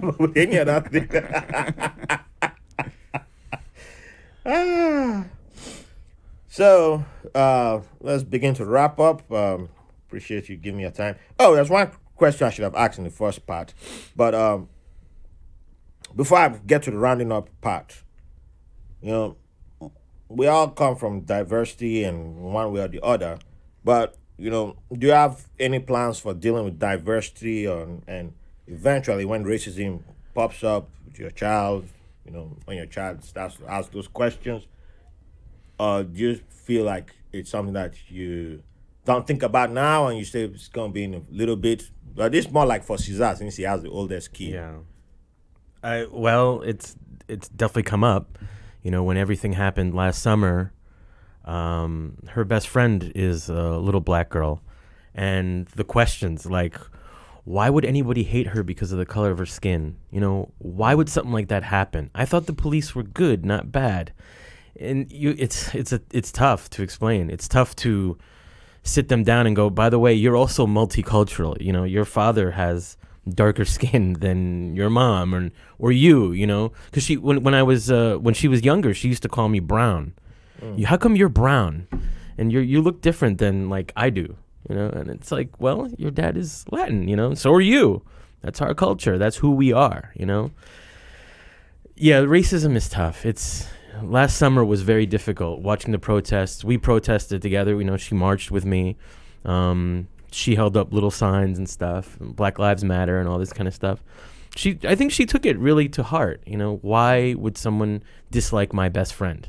Yeah. She's such a great little girl. Why would why would somebody hate her? Why would someone dislike her? And I, I haven't I haven't come up with an easy answer to be honest. I don't. I, it's it's very difficult to answer those questions. It's very difficult to be like, so this is what happened in American history. She can't grasp it. She's too young. Mm-hmm. So it's you, you just say some people just are, you know, silly or they have really weird ideas about what humanity is and them being better. Just don't think that way. You know, for yourself. You can see that we live in a very diverse community and there's no reason for it. And I'm, I'll tell you right there, it shows you that racism and things like this are taught. They're not Big time. they're not biology. They're taught. Yeah. Because these kids don't see color. You your kids, I'm sure they go to the playground, they don't see color. They just see other kids to play with. I, I'll, I, I think I told a story when I was on before, but I'll, I'll tell it again. In that uh, I used to coach uh, like soccer when you know a couple years ago, and there was one, there was two Carls um, that that were playing. One was a little black kid, one was a white kid. Uh, one had red boots and one had blue boots. So we're playing and whatever, and uh, one little kids comes up to me. A different kid comes up, and uh, I was like, "Oh, uh, uh, Carl is uh, got hurt, and I was like, oh, wh- which Carl got hurt? And then he was like, oh, the one with the red boots got hurt. You know, it wasn't the black one, it wasn't the white one. It was it was the red boot Carl. You know, so I another s- story is that when I was you know young playing soccer, you know maybe six or seven years old, um, obviously it's more religious, but like uh, uh, Celtic and Rangers. You know, so yeah. obviously Rangers being the the you know the the Great Britain and Union and and, and uh, you know Protestant leaning versus Celtic, which is more Catholic Irish kind of team. And uh, I used to play for a team in the in, in the local team in the park was called Bushy Park Rangers. Just happened to be the name. No affinity with anything. Ranger just happened to be the, the name. And uh, again, I'm five or six years old, and that's the team I play for. And another little kid comes up and, oh, who do you support, Celtic or Rangers? And I was like, I I've no, I'm not exposed to this. Like you say, it, it's, you know, uh, it's something that you're you're you're you know, you're taught. So, who do you like, Celtic Rangers? Oh, uh, well, I guess I play for Rangers, so Rangers. You know, I don't know who Celtic Rangers is. And he punches me, and then uh, he's like, "Oh, you're a Protestant, and you you you know you're you're loyal to the Queen and all this kind of stuff." And I was like, "I have no idea what you're talking about." because I, was never exposed. My it wasn't like my, my parents were like, you don't, you know, British people are the worst, and you know, oh, you know, you know, IRA and all this kind of stuff. That's not something that that that was, you know, that needed to be talked about. You know, but again, it was still that. Now, obviously, it was his brother or his dad or someone in his life had said, no, don't. People from Rangers or, or Protestants, you don't deal with Yeah. them. You know, you're against them, and that's a perfect example. Like you said, leaning back to it's taught. It's not. It's not. Uh, listen, I don't care what you do, so long as you're a nice person, you know, uh, and and do your thing. Doesn't matter where you're from, you know. Yeah, yeah, but- that is, there's a way we, we we shape kids without even realizing that we are, we are shaping um, our children, and that's why the examples that we set is very important. I, Yeah. I, I think it's cultural as well. You know, you, you think of you know Japanese culture and and and gaijin, so people who aren't, you know, you talk about wrestling and and and and knowing that like if you're not Japanese, you're not really accepted within the workplace or the culture. You know, you think of of, um, you know, uh. In, in, in the cowboy movies and stuff, what what do they always the, the Hispanic the cowboys? What do they call the gringos? Isn't that Right, Yeah, yeah. yeah. so again, there's there's always there's always something culturally these things, and I'm I'm hoping that, you know, similar to parenting, racial t- tensions and things will start to change over the next generation, the next generation. You know, but again, there's always those those pockets of people that are just horrible people, and and you know, it's like using religion as a shield to justify shitty behavior. It's like using the military, you know, as as a shield for justifying your shitty behavior. Oh well, I was I was in I was in the military, but okay, like I I you know, I worked with, with a guy who was in the Marines for 27 years, and uh, you know he always wore this insignia ring with with the Marines on it, and he would he'd be you know walking through Times Square, and there's always you know guys always a veteran and you know holding signs and stuff. So there was one guy for whatever reason he went over to him one day. Oh, you served? Yeah, yeah, I was in. I was in the Marine Corps and da da da da. He's talking to him and he's about to give him some money and he's like, "Oh, I like your ring. What what, what is that?" You know. So if you're in the Marines, you know exactly what the Right. insignia was. So he was just some bullshitter, just trying to to you know use the military when when there wasn't a, a thing to it. So again, I think it's all linked together, but I think it's just trying to be a nice person and and um, teach that to my daughter and and you know the next generation behind us. Sorry for taking over there. no, no, you're I'll- good. I'll- It's a heavy topic. Um, yeah, heavy question. I, you know, my daughter was born in May of last year. Some part of me A selfishly, good month to be born, by the way. yeah, Not- right, not right before the summer. Um, a, a, a selfish part of me thought to myself, you know, I'm, I'm, I feel lucky that I don't have to have difficult conversations right now because I can only imagine. I mean, how do you explain, you know, to to a child? And, you know, I, I think you have to be a, a, a developed adult to fully grasp, you know, all the nuances. Um, and it's very easy to to misunderstand when you're young, when you're, you know, um, talking about racism. You know, I, I thought, I think to myself, you know, part of my duty as a dad, you know, going back to the creating a, a protective boundary around my daughter is to sort of, you know, uh, you know, keep Santa Claus alive for as long as possible. You know, have her world be full of, you know, just positivity, at least for the early, you know, early stages, because that's something I had. Um, and I was lucky to have that growing up in a country where 99.999% of us are black. You know, it wasn't a thing that I, I had to think about or deal with. And it was a luxury Yeah. um, that not everybody gets depending on where you grow up. Um, so, you know, on, but on the one side, you don't want to raise a naive person who, you know, will be, you know you, you want to prepare them for the world that they're going to meet and the people you know that are not great people out there. I'm a little less optimistic about human nature than than than you guys perhaps. I think that there's a natural tendency to like people who are like us to like people who like the same soccer team to like people who have the same skin tone to like people from the same country um, so even if it's not taught i think that that's in I, I i'm pessimistic. I think it's innate. I think the challenge is you know in spite of that natural tendency to like our own how do you override that by being a, a, a conscious human being you know and, and and accept other people into your life? Um, and you know my, my daughter being you know my wife is caucasian. My daughter being mixed you know that that has a whole you know layer of complexity as well because Yeah. you know i know from other mixed people that they feel like they are they have a foot in both worlds they're not really sure where they fit and it's a it's a separate identity of its own with unique challenges too which i i, you know neither of us you know neither my wife nor i will may perhaps be very well equipped to help her deal with so uh, yeah, it's something I think about a lot. I don't, I don't know. I don't. I know I don't like what's happening in the schools right now in New York City. I the thing that scares me the most is my daughter being five, going to kindergarten, and the teacher saying, "You know what? This world is full of racists, and you are going to encounter racism." And, you know, I, I don't think that's the right approach. I think it's, it's it comes from a good place, but I wouldn't want a teacher. I, I the, the thing that scares me the most is my daughter coming back home and saying like, "Dad, why do people hate me?" Um, I don't think that that's a good thing to internalize as a young person. How, how would you like the teacher to go about it? I would say most people are good people, and you should be a good person. But there are some people out there who are just bad people,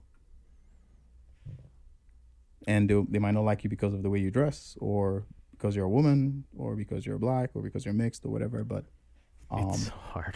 it's hard. I mean, I mean, I could go for an hour on this. Yeah, this it's is so like its hard. own, like, you it's know. Oh, you know, I mean, I'll, ha- I'll have to do a part two with um, parents of mixed children.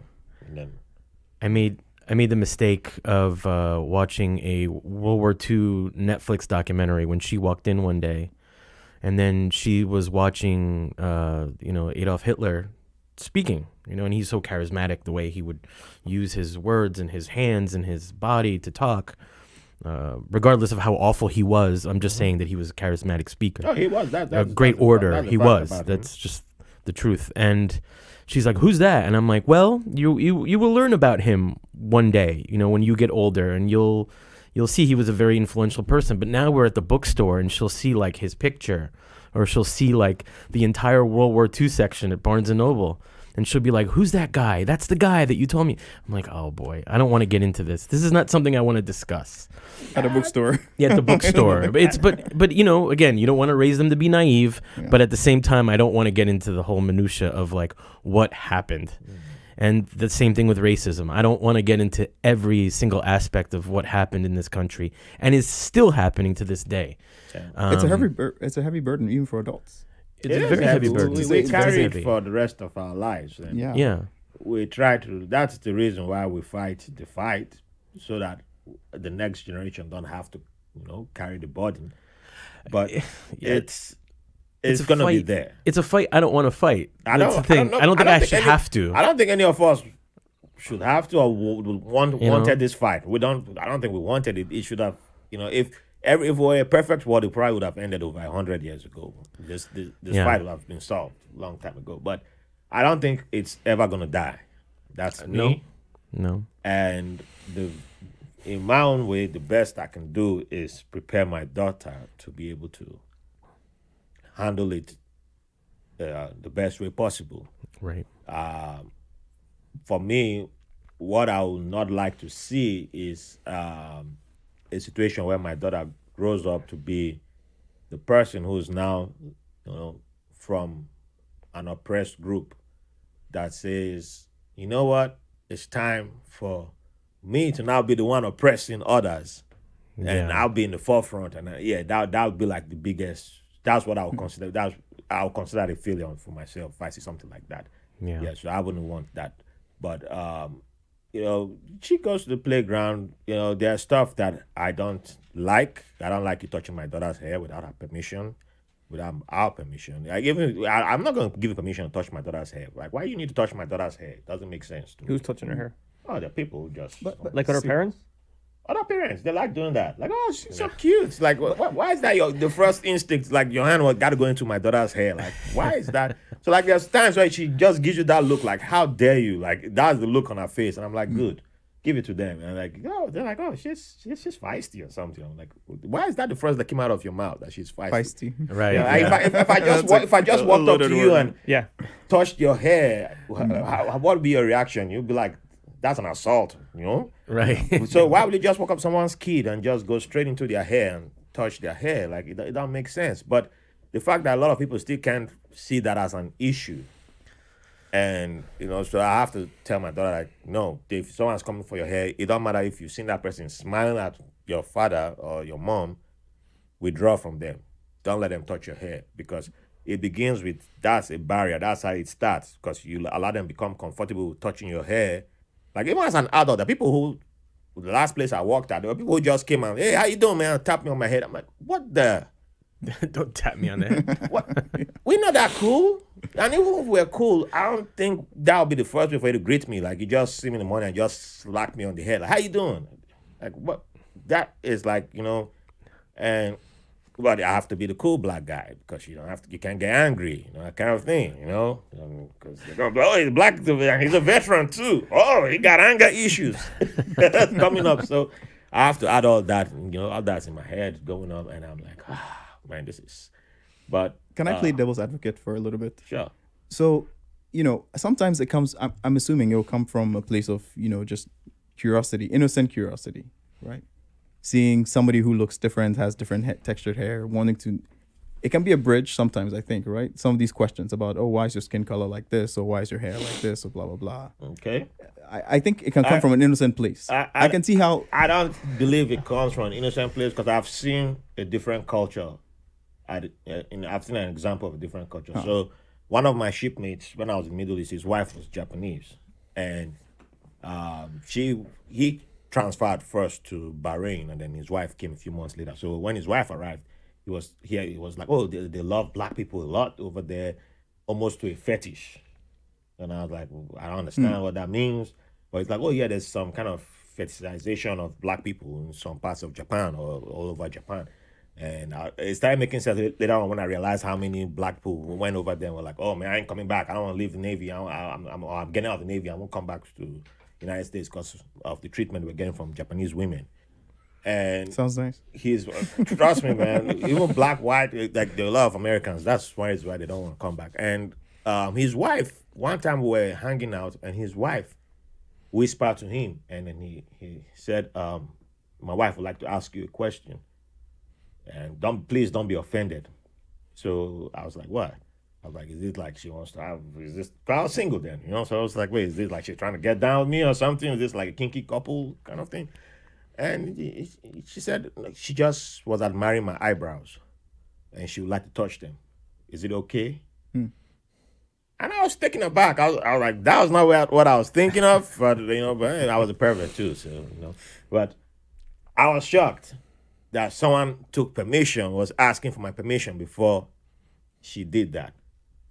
And I was like, well, okay, go ahead. And she, it was like a kid, literally like a child, just brush and it's like, oh, oh, I should like so nice, so nice. Again, please. And then and I was like, I couldn't get it. Like, why are you so? And she was like, oh, some like people actually do surgeries to have like black people's eyebrows. And oh, what is what? That, that was a whole new the world. I was- heard black people's eyebrows. I didn't, I didn't know it was something. I, but she, she all her life she's been in Japan, grown up there, um, Osaka. Um, yeah, I think Osaka area she's from, and I was like, wow. But she she she just moved back because she she couldn't even stay in the United States. It was too much for her. She couldn't adjust to life in America, so she moved back to Japan. But yeah, that that was. But she took permission.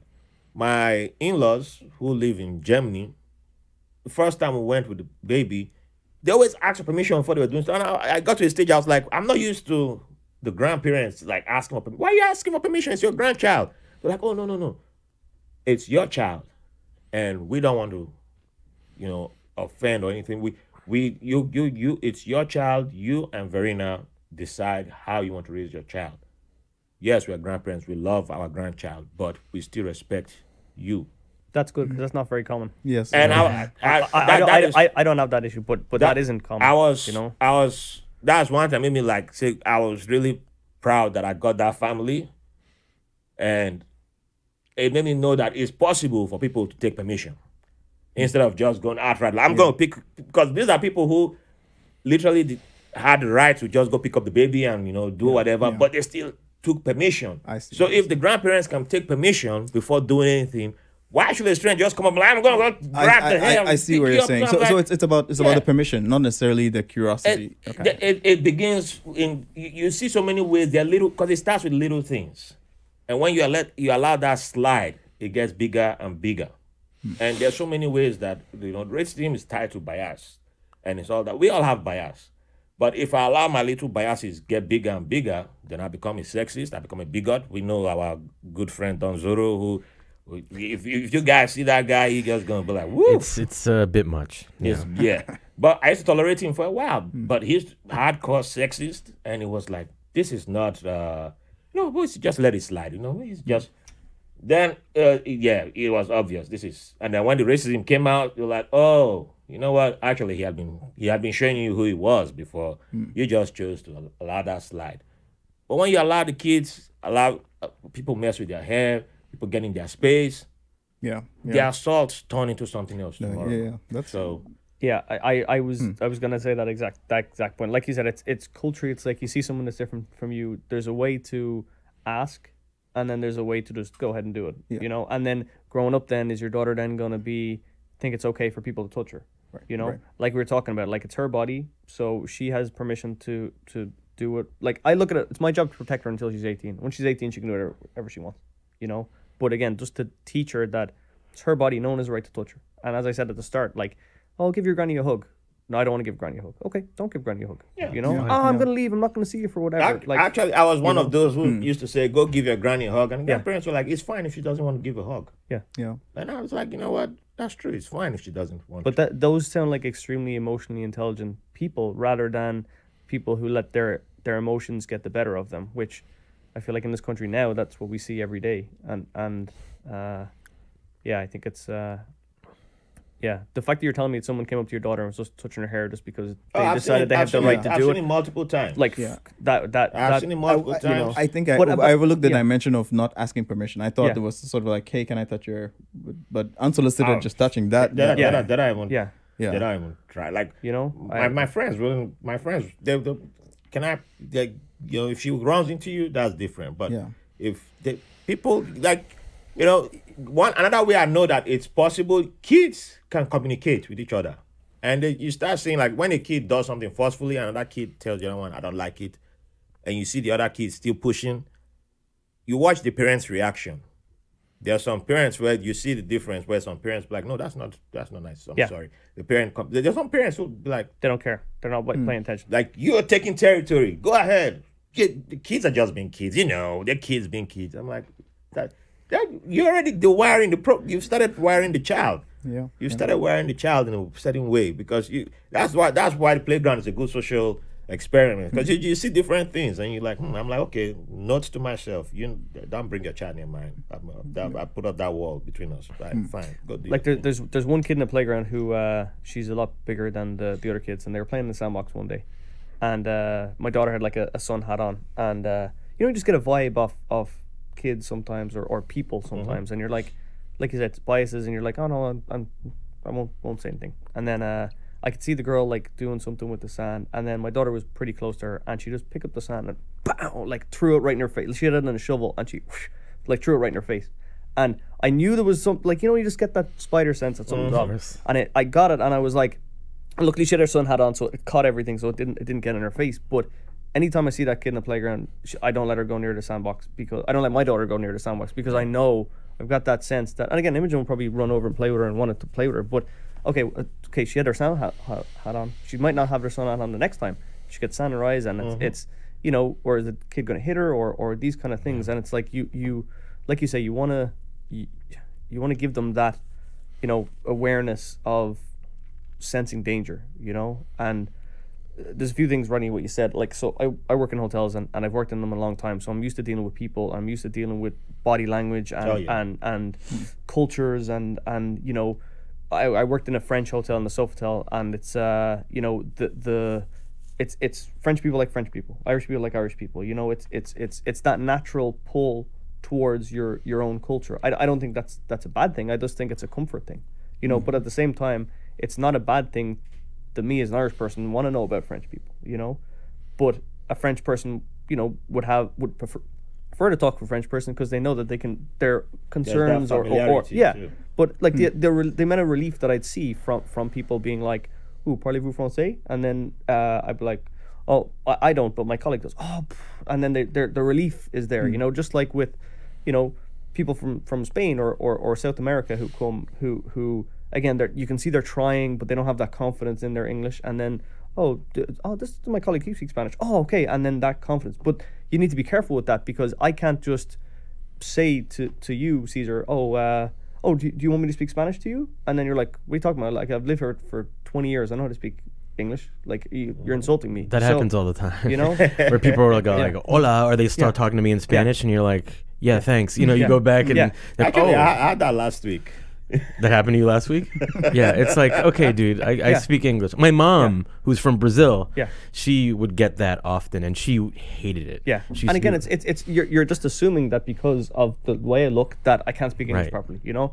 And I'm I'm like I'm an immigrant as well. I've been living here for 13 years, and the only difference between we look different, you know, and and you know, but I'm never treated that way, you know. And I, I'm an immigrant. There's no difference between between me and you. It just happens that that you know physically we look different and and and th- there's a difference in the way it's treated. So again, I I think it's just again it comes back to a lot of different things. I think we talked about a lot of stuff here. I think my main thing is is as I said, body autonomy. That's your body. You know, you do with it what you want. Uh, but to learn how to protect yourself as well and sense danger. Yeah, that's a, a big thing that I'm we're trying to instill in our daughter now because now she's at the phase where she's very trusting of people that are older than her, especially of the opposite sex. And that can be like, okay, look, you have to have the conversation with them. Like things that you can't talk about, here are things that you can talk about. And also just be very careful. Yep. Because there might be a time where I'm not there or your mother's not there. And you have to be able to discern between what's good conversation and bad conversation. And right now, that's that's a, Like a I- conversation again, you have to have. another one you know uh, when it comes to I'll, I'll, I'll finish on this one but it's uh you know there's a play school where uh there was a janitor that was in the play school and uh, all the kids had to hug the janitor every day you know and it's like why these are the kind of like Rodney I know you, you said you're hmm. you're you're overanalyzing certain things and I don't want to give you another thing to overanalyze but it's, but it's, about but, it's, janitors, but yeah but it's one of these things where where you know you you you you know trust is a big thing and you have to trust that if you're you know dropping your daughter off at daycare or at whatever that that this person is trusting. And again if you've got that natural spider sense within yourself that if something doesn't feel right there's a reason that that's that's in you whether it's body language whether it's it's energy you know i I, I, I don't know but it's it's yeah i i just my i want to end my part to saying that like you know if, if something feels off trust your gut and don't don't just and teach your teach your kids to feel that way as well. Yeah, I, I think that's a good place to um, nip it there because it's that trust your gut is something that I think we wait until like what I, I'm used to is that we wait until the child becomes almost a teenager for them to start knowing that they have a gut that they can trust. But it's uh, it's something that is in them from an early stage, and when you don't trust your gut and you vocalize it, it's up to the we the adults to listen and hear the child and let them know that once you let us know that you, this is not you don't something does not feel right to you i will listen to you and i'll act on it. Because that's when something that's when if um you know we don't want something bad to happen to our kids but let's say something unfortunate happens and they experience it or they witness it they should be able to come to us. We don't want this situation where the kids, our kids, have to go meet someone else, say, because our parents don't listen. Mm-hmm. They have to go look for someone else to go mm-hmm. tell what happens because that's a very big point you made about trusting your gut. But the way I grew up is I'd never could go to my family and say this is what happened. So there was stuff that happened to me as a child. I couldn't. It didn't even occur to me that I should tell someone in the house this is what was happening. If I did, it was like you're reporting your senior, so that's a lie, kind of thing. Mm-hmm. So all that is also connected. That's why racism is like a big, wide, you know, it's very wide, and it shows you how damaging it can be because there's so many layers to it. But we're almost out of time, so unfortunately, I can't go further than this. We can't fix so, racism today. Yeah, we can't fix it today, but we, we, we, can we can try with can try. a few beers, you know, and barbecues from that. So, final question to wrap it up, you know, and wrap it up in a good way. What would you like to leave the audience with? You know, and uh, yeah, could be a line from a book you've read, could be a line from Megadeth. I know, probably go there. Or it could be a mantra that you live by. I know where Mark will go with his. Or it could be just something that speaks to you, you know uh, something relating to fatherhood. You know, since it's for Father's Day, this uh, episode. I guess I'll go. Uh, the, so I, I think I touched on it when I started. So the the way that my philosophy in life is is be kind and don't take shit. You know, and when I say that, it's like I, I if something's not right and you see someone being talked to poorly or downtrodden or in work or in in whatever, like to be the first to say this isn't right. You know, and like you, you had said about your friend perpetuating, you know, talk sexist, racist, you know, eventually, obviously, it seems that you guys have now signed like, this, this isn't right, you know. So yeah, it took us a while to step, there. but mm-hmm. step I mean, up. I drank yeah. three beers from him. Yeah, like yeah. step up rather than stepping off, you know. And my, my second thing, more lighthearted, would be there's a show on Disney Plus called Bluey. Um, it's about a it's Australian show. It's two little. It's it's about two little girls that like little dogs, uh, and their their mom and dad, and uh, I think they're six and four, mm. and it's just a really wholesome, kind show with really good examples of parents. Um, you know, one episode that stands out to me is just that there's uh they're going to the dump and you know they're driving to the dump and and oh dad are you are you a good driver i'm the best driver oh dad are you good at this oh i'm the best at this you know they get to the dump he's throwing the stuff into the, the dump, and uh, one of the daughters sees her drawings that she drew for him, uh, scriggles and, and things like that, but that he was throwing them away. So then it's now a case of you're not a good guy, you're not the best, you're the worst. You're throwing away my drawings I drew for you. So yeah. how is you uh, as a parent, how do you deal with that when your daughter's coming to you saying that you're throwing away my drawings or you don't care about what my feelings, you know? So you know, it's these are the kind of tough conversations they have on it. But it's a really, really, it's only eight or ten minutes, but I, I can't oh, wow. stress okay. it enough. It's a really good, wholesome show, and it's Bluey. it's Bluey. Yeah, so Bluey. yeah, check it out. You can tag at Bluey in this podcast now. Yeah, Disney, we need that Disney Plus money too. you know, for me, I guess what I'll leave folks with as as as the the, the least experienced dad here is, you know, for for those who are you know thinking about it, mm-hmm. just you know you know coming from somebody who's been in it for for a year. Um, it's true that it's hard. It's true there's a lot of sacrifice. Um, but I've been thinking a lot about sacrifice, you know, in the last few months. You know, it's it, you know, it's it's part of being human. You know, we whether you're sacrificing chickens for the rains to come, like my granddad used to do, or you know, sacrificing your time, you know, for something better. You know, you you give up something that is hard to give up. Maybe yeah. your free time, maybe your image of yourself as a Casanova. You know, going hitting up the clubs. Oh yeah. Um, you know, maybe your body because you get the dad bod. Um, Friday sucker. yeah, exactly right. That's why we do that. Um, but but it's it's for something better, and it just feels right. It feels right in a way that it feels good to be a dad. Um, I'm happy to say that it feels like I'm doing what I should be doing. Um, it's meaningful in a way that I don't think other other things in my life are. Um, yeah, so it's and a lot of parents may give you may tell the scary stories, and I think sometimes maybe it comes from a place of not wanting to bra- to be bragging about what they have to people yeah. who don't have kids. Uh-huh. So almost like not making them jealous. That's why they talk about the hard parts. But it's it's it's it's it's a lot of fun too. Yeah. I can't say it much better than that. um, it's a it's a challenge, but it's a worthy challenge. I think it's the it's cliche to say, but it's probably the best thing that I'll ever do in my life. Um, this Father's Day also happens to be my birthday. So there's been a lot of like, you know, Oh. thought, uh, introspection that goes along with that because I'm getting older. Um, yeah, it's it's it's a wonderful thing. If anyone, like I said, like you said, if anyone's on the fence, I would say it's hard to say go for it because like it's something you can't come back from. Yes. But it, I think it's it's it really is the best thing anyone could do. It's you're it's you're raising a person. You know, you you, you give so much of yourself, but it's so worth it. Um, I'm lucky to have a really good partner that that's a really wonderful mother. Um, I am not married like you guys. I'm actually a single father. I was going to um, ask you about dating, but Yeah. I'm out of time. yeah, you're out of time because I could go on and on for that too. But um, it's you know, it's it's been a wonderful, wonderful thing. I um, in no way have I ever been like, you know, this is. I just wish I didn't do this. I didn't. Wish I didn't stick around. I'm very, very happy that I stuck around, and I'm grateful that I have the daughter that I have. I'm very proud to be her father. You know. Me too. I'm grateful that I've that I have, and yeah, that's that's just the best way to end it. That's just the best way.